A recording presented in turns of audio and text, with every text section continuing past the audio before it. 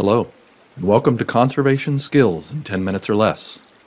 This series of short, skill based videos is brought to you by the U.S. Fish and Wildlife Service's National Conservation Training Center in Shepherdstown, West Virginia. If you have a few minutes, pull up a chair and pick up a new conservation skill or refresh an old one on topics ranging from fish culture to bird identification to stream restoration. Enjoy. Hello, my name is Matthew Patterson, and I'm a course leader at the National Conservation Training Center. I'm going to lead you through this skill exercise today. So, what's the lesson for today? Today, we're talking about excavating quadrats to sample freshwater mussels. So, why do we care about freshwater mussels? Well, as it turns out, freshwater mussels are one of the most rare groups of organisms in the world.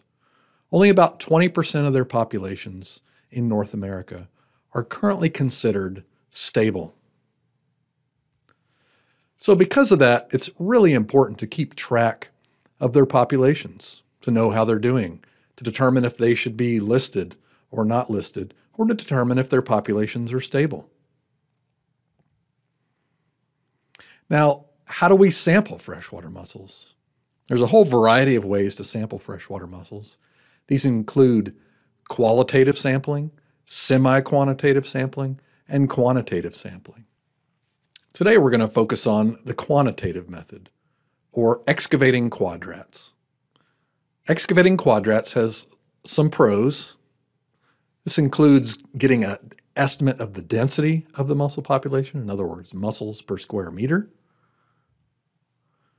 It also provides an unbiased estimate based on the experience of the collector so you may have someone that's really experienced and someone that's inexperienced. With quadrats, you get a similar estimate from those two people.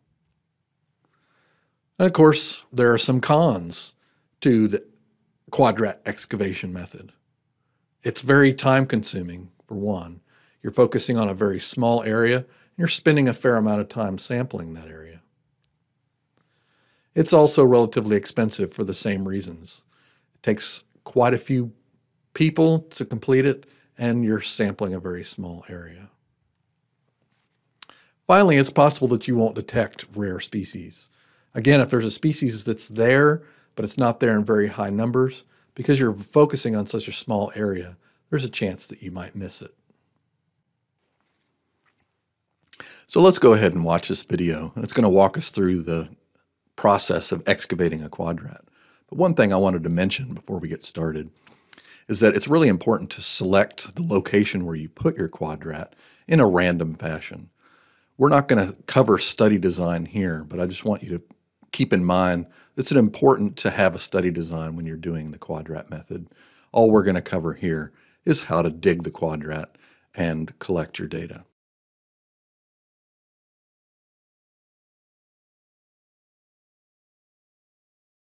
Once you've laid down your quadrat, the first step is to put on a mask and snorkel and look for any mussels that you might find on the surface. Second, if you're planning to characterize the substrate, you should complete a pebble count prior to excavating the quadrat and disturbing the substrate. The biologist here is placing her finger down on the substrate and characterizing the particle she touches as either sand or gravel or cobble, etc. This method is repeated on all four corners and the center of the quadrat for a total of five measurements. Finally, she removes any large rocks prior to excavating the quadrat. Then you can start digging.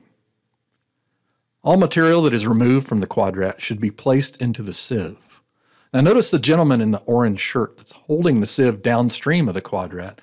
He's holding it at about a 45 degree angle to capture any substrate and mussels that are dislodged. Now, a common question that comes up when digging quadrats is how deep should I dig? Well, this is going to depend on the substrate type of the stream in which you're working, but we recommend digging down to the hard pan. Now, that's the layer of substrate that is really too firm for mussels to burrow in. At a minimum, you should be digging down about six inches. Now, when all the material has been removed from the quadrat and placed in the sieve, shake the sieve at the water surface to remove all the fines. Then you can sort through the sieve material looking for adult and juvenile freshwater mussels. But keep in mind, the juvenile mussels can be very small and may be attached to rocks with the byssal thread, so inspect the rocks closely. Another technique for finding small juveniles is to forcefully push the sieve down into the water. The heavy particles will quickly sink to the bottom of the sieve, while the light juvenile mussels will sink more slowly.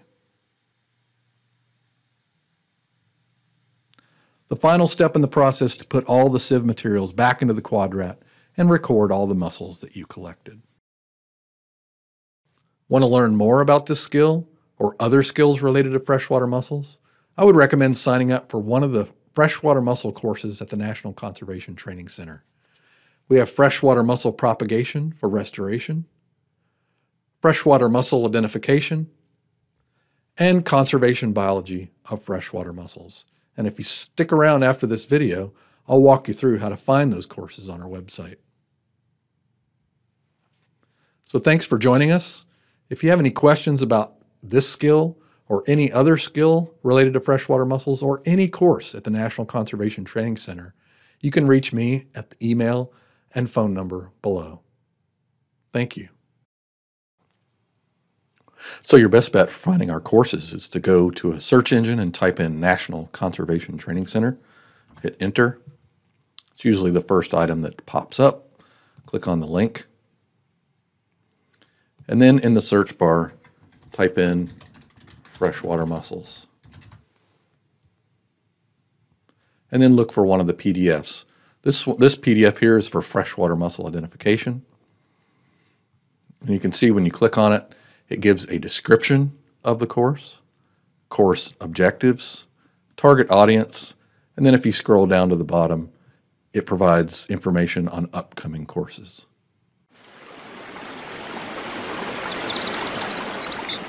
Thanks again for joining us for Conservation Skills in 10 Minutes or Less.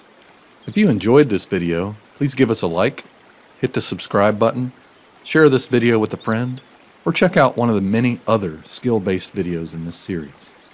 Have a wonderful day, and always remember, the beautiful thing about learning is that no one can take it away from you.